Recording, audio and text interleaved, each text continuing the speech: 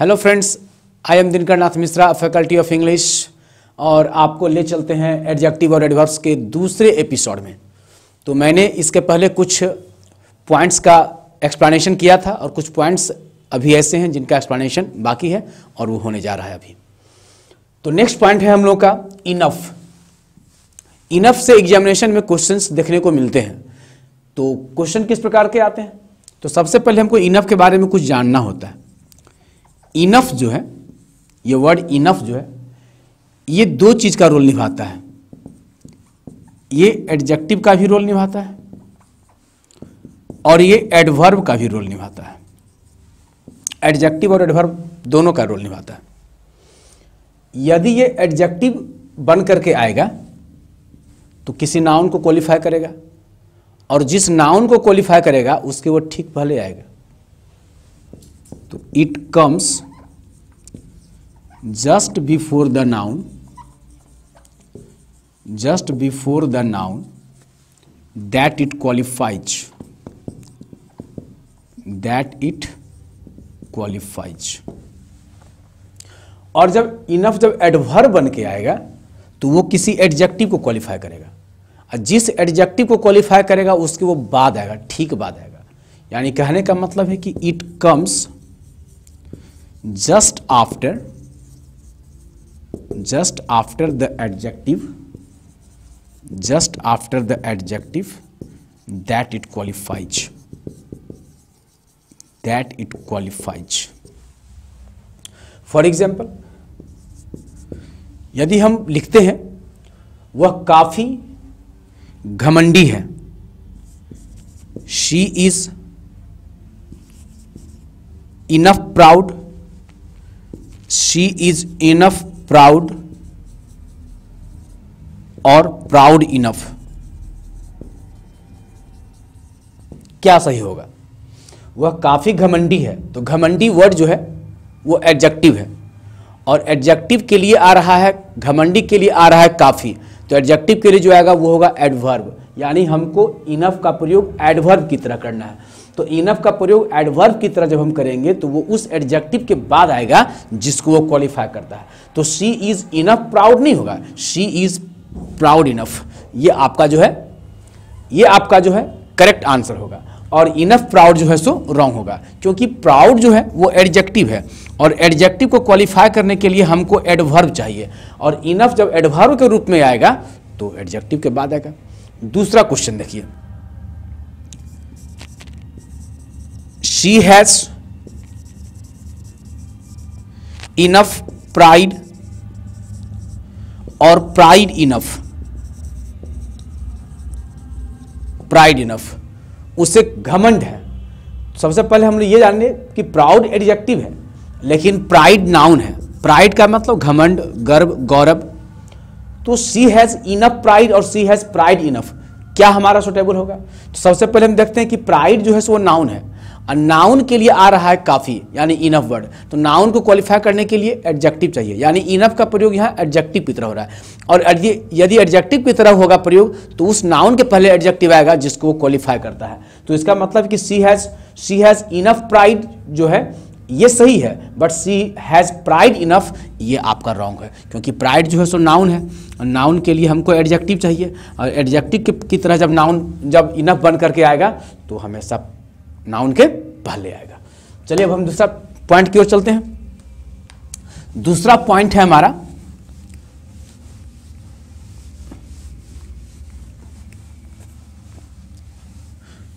दूसरा पॉइंट है हमारा ओनली बहुत इंपॉर्टेंट है ओनली ओनली मीन्स होता है सिर्फ़।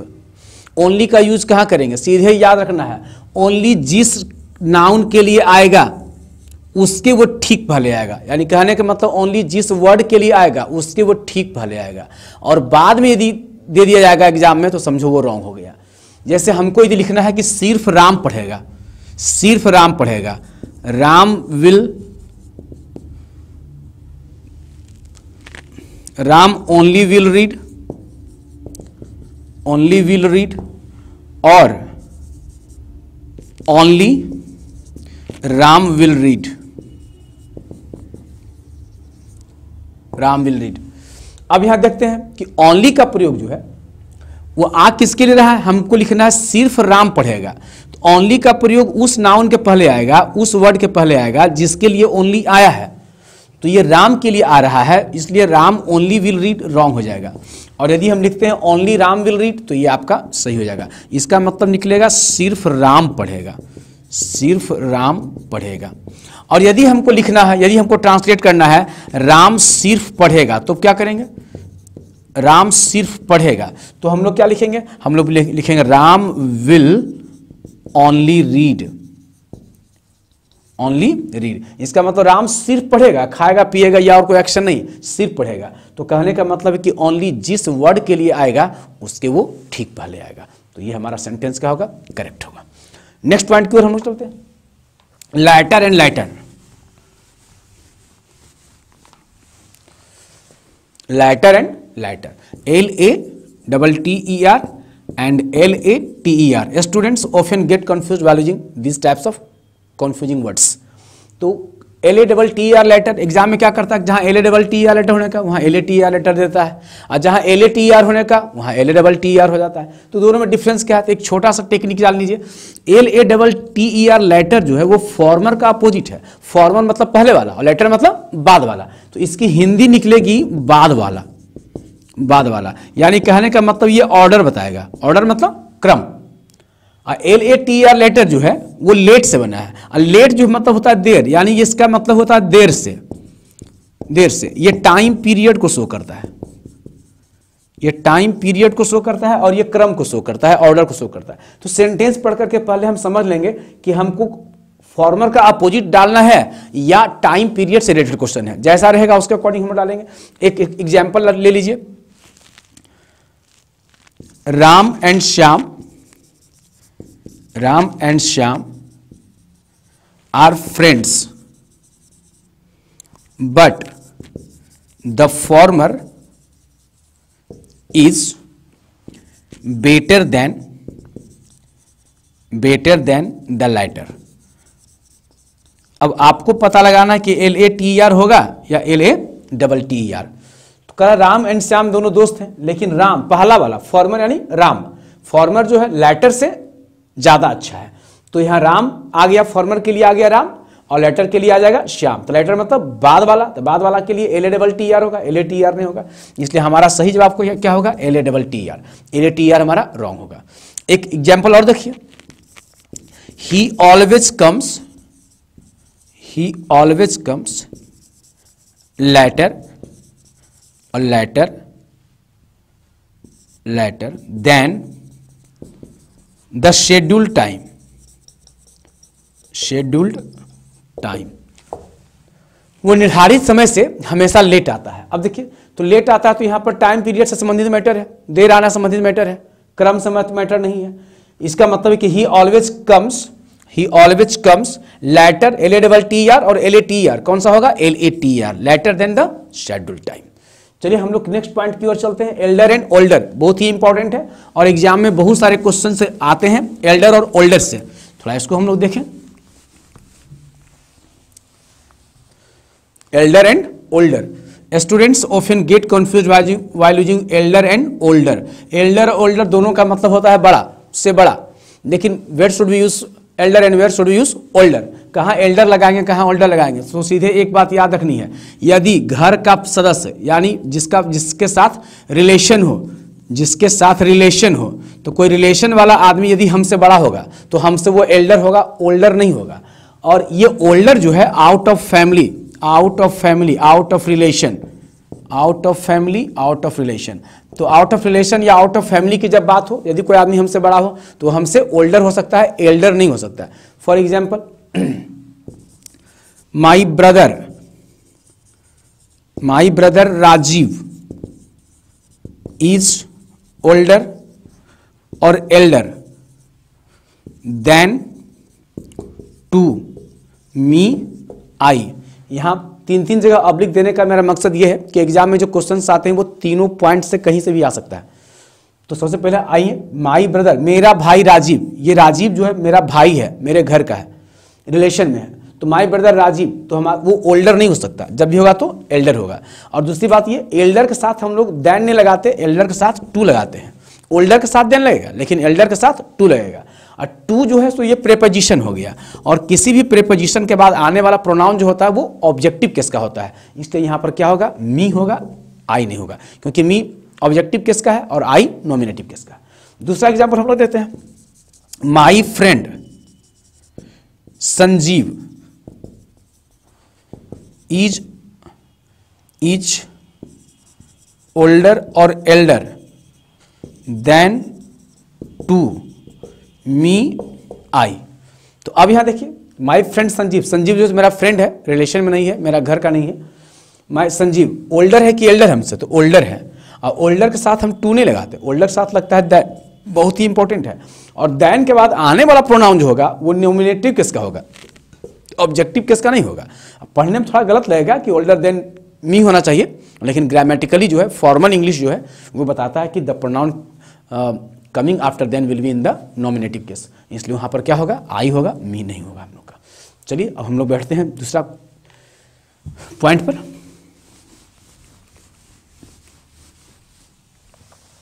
फेयरली एंड रैदर बहुत ही इंपॉर्टेंट है। एग्ज़ाम में क्वेश्चंस फेयरली और रैदर से आते हैं। तो देखना है फेयरली क्या है और रैदर क्या है। दोनों का प्रयोग जो है, वो कंपेरेटिव सेंस के लिए आता है। और हम लोग देखें कहाँ फेयरली होगा, कहाँ रैदर होगा। फेयरली जो है ना, वो फेवरेबल कंडीशन के लिए आता है। Favourable condition. फेवरेबल कंडीशन का मतलब कोई चीज़ जिसे हम बहुत चाहते हो मतलब चाहते हो, हम जैसा चाहते हो, वैसा ही, तब तो वहाँ पर फेवर, फेयरली लगाएँगे। और रैदर जो है, सो अनफेवरेबल कंडीशन के लिए आता है। अनफेवरेबल कंडीशन के लिए आता है। जैसे चाय गर्म है, ठीक है द टी इज़ हॉट लेकिन चाय उतना गर्म है जितना हमको नहीं चाहिए, बहुत ज़्यादा गर्म है। हम पी नहीं सकते। तब यहाँ पर होगा, the tea is rather hot. और चाय उतना गर्म है जो हम चाहते हैं, उतना हम पी सकते हैं, उतना गर्म हम पी सकते हैं। तब यहाँ पर होगा, the tea is fairly hot.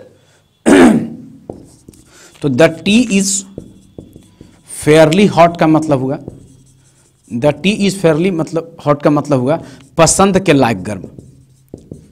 पसंद के लायक गर्म। और the tea is rather hot the tea is rather hot का मतलब होगा, पसंद से ज़्यादा गर्म।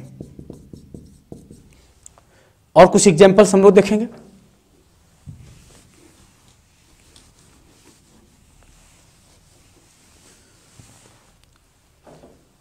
दूसरा डिफरेंस फेयरली जो है ये पॉजिटिव डिग्री वाले एडजेक्टिव के साथ आएगा।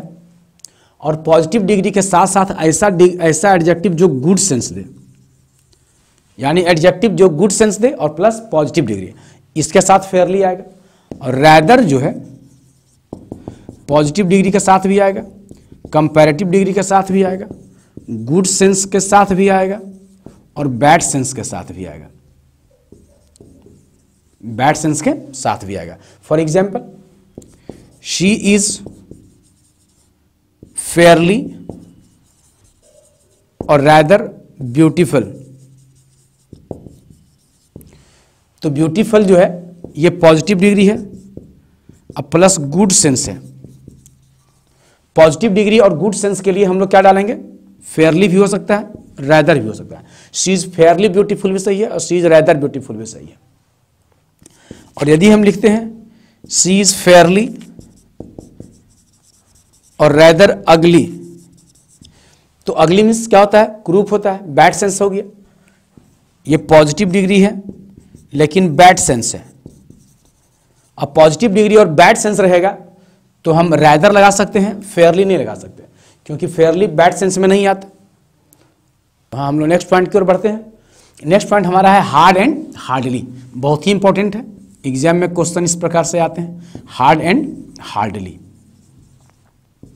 हार्ड जो है, वो एडजेक्टिव भी है और एडवर्ब भी है। हार्डली जो है, वो सिर्फ़ एडवर्ब है। ऐसा नहीं कि हार्ड से हार्डली बना है। हार्ड से हार्डली नहीं बना। हार्डली वर्ड ही डिफरेंट है। इसलिए हार्डली हार्ड से नहीं बना, क्योंकि हार्ड तो खुद एडवर्ब भी है। तो जो खुद एडवर्ब है, वो अपने में एल वाई ला करके एडवर्ब क्यों बनेगा?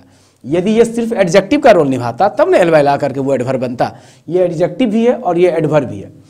ये हार्ड का मतलब होता है कठिन और हार्डली का मतलब होता है मुश्किल से। ये हमेशा निगेटिव सेंस देता है हार्डली कुछ एग्जाम्पल्स हम लोग देखते हैं जिससे पता चलेगा कि हार्ड कब एडजेक्टिव बना और हार्ड कब एडवर्ब बना। देखा जाए। यदि हम लिखते हैं work hard otherwise you will fail the examination you will fail the examination तो यहाँ हम देखते हैं कि वर्क हार्ड कठिन काम करो, नहीं तो एग्ज़ाम में तुम फेल कर जाओगे। कठिन काम करो। यहाँ पर वर्क जो है सो वर्ब है। और वर्ब के लिए यहाँ पर आया वर्क के लिए आया हार्ड इसलिए हार्ड क्या हो गया? एडवर्ब हो गया। दूसरा देखिए, यदि हम लिखते हैं hard work is necessary if you want to get success if you want to get success in your life in your life तो अब यहाँ देखते हैं कि hard work is necessary if you want to get success in your life अब hard work में यहाँ काम जो है, यहाँ वर्क मतलब काम, जो कि नाउन है। यहाँ वर्क मतलब काम करना, जो कि वर्ब है। तो काम जब नाउन हो गया तो हार्ड क्या हो गया? एडजेक्टिव हो गया। तो जब तो यहाँ पर देख रहे हैं कि हार्ड जो है सो एडजेक्टिव बन गया।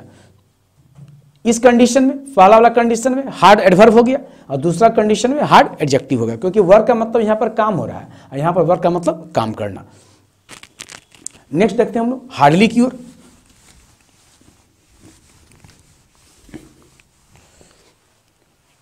एग्ज़ाम में क्वेश्चन इस प्रकार से आता है कि ही विल हार्ड और hardly pass the examination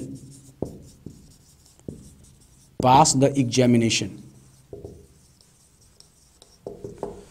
वो मुश्किल से एग्ज़ाम पास करेगा। सेंस ही इसका आ रहा है नेगेटिव इसलिए हार्ड यहाँ नहीं होकर क्या होगा? हार्डली होगा।